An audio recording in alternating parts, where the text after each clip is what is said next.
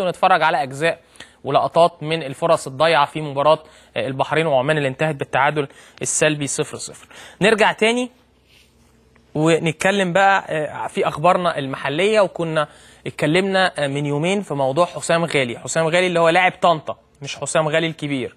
لاعب طنطا. حسام غالي كنا إحنا انفرضنا من شهرين وقلنا في ثلاث لعيبة النادي الأهلي بيفاوضهم في منتخب الشباب بترشيح من الكابتن ربيع ياسين طبعا مع احترامي وتقديري للكابتن ربيع هو كابتن ربيع دخل معانا مداخلة وقال أنا ماليش علاقة بالموضوع وكده لكن يعني إحنا قلنا الخبر من شهرين وإحنا بنحترم كابتن ربيع جدا ولكن كان بترشيح من الكابتن ربيع ياسين وقال إن اللعيبة دي مميزة جدا ولعيبة كويسة وممكن يعني تنفع النادي الأهلي في الفترة الجاية. النادي الأهلي اتقص وسأل وحسام غالي كمان يعني اتمرن شوية مع النادي الأهلي. زي ما إحنا قلنا راح غانا على الورق بس وطلع كمان وكيل وكيل اللاعب مش تامر النحاس. وكيل اللاعب اسمه أمير المراكبي. وهو كلمني في التليفون وكان شاف الحلقة بتاعتنا هو في غانا على فكرة هو في غانا دلوقتي.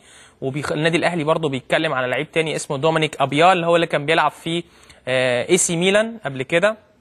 وإحنا كنا قلنا برضو من يومين ثلاثة على موضوع دومينيك ابيا وكلمني أمير المراكبي وكده وقال لي موضوع حسام غالي. وأنت قلت يا كريم إن النادي الأهلي هو اللي وداه مش عارف غانا عشان يجيب له يعني يأيده في نادي هناك وبعدين يسهل اللي هو يرجع تاني للنادي الأهلي بدون موافقة نادي طنطا. أنا اللي وديته غانا وأنا مش عارف إيه. قلت له طب يا أمير أنت يعني وديته غانا. هل هو لعب في غانا؟ آه قال لي يعني هو اتأيد وأصل وجي غانا مرتين ثلاثة أو جه يومين ثلاثة قلت له طيب ما هو ما لعبش. يعني هو برضه اتأيد أنا قلت الكلام صح اللي هو اتأيد على الورق. قال لي ما أنا قدمته لنادي الزمالك قبل كده والنادي مش عارف إيه و... ومحدش خده غير النادي الأهلي. قلت له أنا ما عنديش مشكلة في كل الكلام ده. آه أنا بقول خبر. أنا ما عنديش مشكلة إن هو يروح الأهلي يروح الزمالك ولكن يروح بالطرق الشرعية. إحنا بنقول بنبرز خبر. ان دايما يقول لك آه اللعيب ده هرب راح مش عارف فين ولعب شوية ورجع مصر عشان نادي معين خده. فاحنا قلنا القصة. قلنا إن حسام غالي لاعب في نادي طنطا تحت السن فريق الشباب ومع مواليد 93 مع الكابتن ربيع ياسين في منتخب مصر. الكلام ده أنا قلته من ثلاث شهور أو من شهرين ونص. قلت إن في مفاوضات مع النادي الأهلي. النادي الأهلي فيه ثلاث لعيبة وقلت بالاسم. قلت حسام غالي بتاع طنطا half defender وقلت مسعد عوض وهحكي لكم على قصة مسعد عوض لأن أنا اكتشفت حاجة كمان النهارده. مسعد عوض حارس مرمى النادي الإسماعيلي. ومنتخب الشباب ولاعب اسمه ياسر إبراهيم لاعب آه نادي طن لاعب نادي المنصورة مهم اللاعب زي ما إحنا قلنا وحكينا القصة. وحكينا مع بعض طلع الموضوع صح ومفيش مشكلة وخلاص انتقل أو هينتقل للنادي الأهلي في الفترة القادمة والبطاقة الدولية النادي الأهلي أرسل فاكس للاتحاد الغاني والاتحاد الغاني المفروض هي...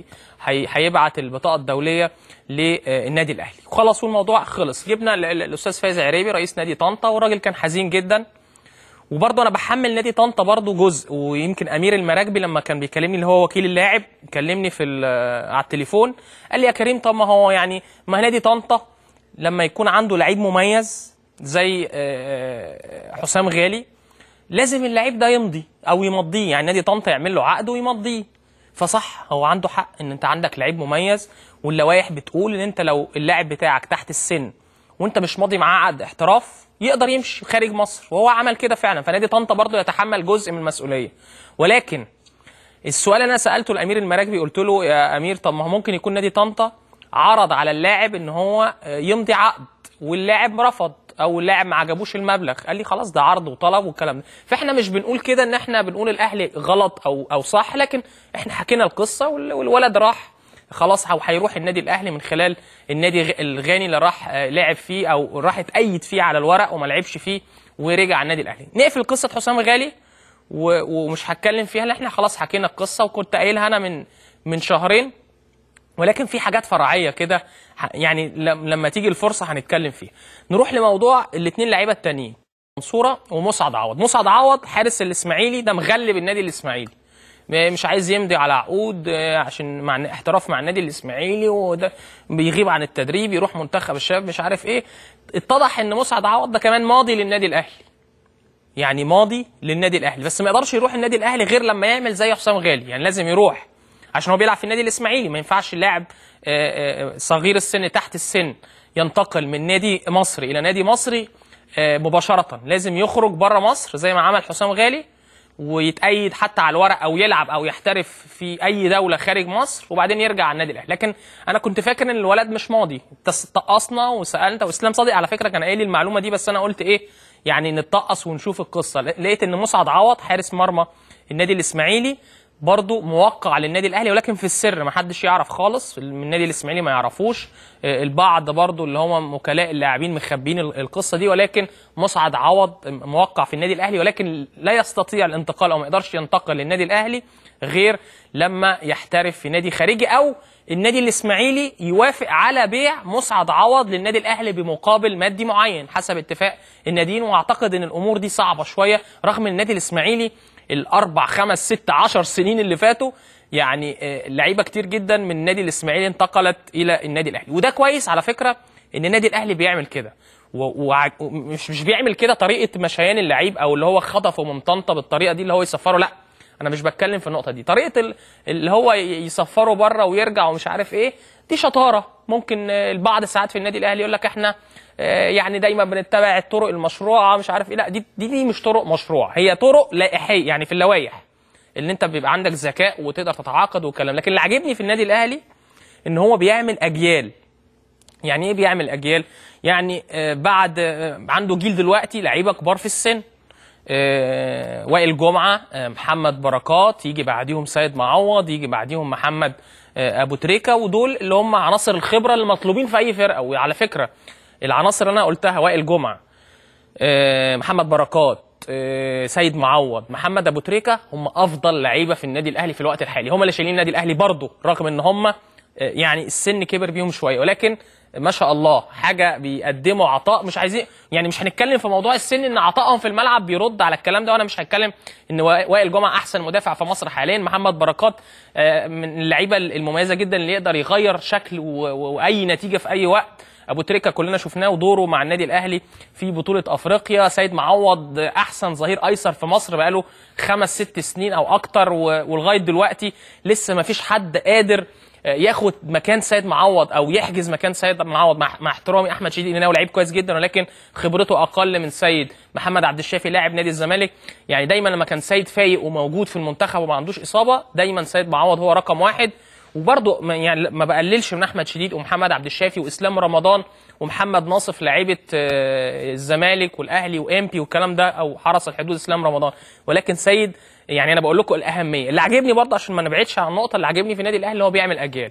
في الجيل اللي أنا قلت عليه ده دخل جيل تاني النادي الأهلي تعاقد معاهم. بقى له سنتين ثلاثة عمال يتعاقد مع محمد ناجي جده مع وليد سليمان مع عبد الله السعيد مع محمد نجيب. رجع أحمد شديد قناوي تاني بقى عنده قوام خبرة وقوام اللعيبة اللي هي المميزة في الأندية اللي تقدر تشيل فرقة. وشفنا الأربع خمس لعيبة اللي أنا قلتهم أو الست سبع لعيبة اللي هو النادي الأهلي تعاقد معاهم. عنده كمان اللعيبة الصغيرة. ويمكن مش مش عايز أجيب بقى سيرة حسام عاشور إن حسام عاشور ده عامل شغل كويس جدا في النادي الأهلي ويعتبر من جيل الوسط رغم إن هو يعني دخل في في 28 سنة. ولكن هو من جيل ال الوسط دلوقتي في النادي الأهلي وعنده خبرات عالية جدا. بدأ بقى الجيل اللي أنا قلت لكم عليه وليد سليمان وجده ومحمد بركات ومحمد نجيب والسيد حمدي وأحمد شديد. بدأوا يركبوا دلوقتي ويكونوا موجودين. الجيل الأصغر منه اللي هم اللعيبة بتاعت النادي الأهلي موجود أحمد شكري موجود محمد عبد الفتاح تاحة المدافع اللي كان جاله رباط صليبي موجود رامي ربيعة اللي تألق وكابتن حسام البدري بيعتمد عليه بشكل كبير. طبعا بالإضافة لشريف إكرامي ومحمود أبو السعود وأحمد عادل عبد المنعم مش هتكلم على حراسة المرمى دلوقتي النادي الأهلي بيعمل الجيل بقى اللي طالع من تحت كمان اللي هو مواليد 93 اللي هو فريق الشباب اللي هو منتخب مصر للشباب. بيعمل قاعدة يبقى عنده خمس ست لعيبة كمان سنتين ثلاثة النادي الأهلي يقدر يستفاد بيهم. زي ما شفنا بيدخل رامي ربيعة وبيدخل لعيبة صغيرة جدا.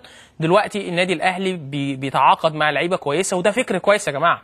ده مش عيب. كل الدنيا بتعمل كده. لازم يكون عندك جيل خبرة وجيل اللي هو بعد الخبرة اللي هو الوسط اللي لعب كتير وعنده خبرات واللعيبة الجديدة اللي جاية وبتغطي لك المراكز اللي كانت ناقصة عندك أو فيها ضعف. طبعا مع وجود أحمد فتحي اللاعب المميز جدا. أنا مش عايز أنسى حد ولكن أنا بتكلم عن الناس الجديدة أو النادي الأهلي بيفكر إزاي في المستقبل القريب والبعيد. عندهم خطة قصيرة الأجل وخطة طويلة الأجل. عكس كل الأندية في مصر.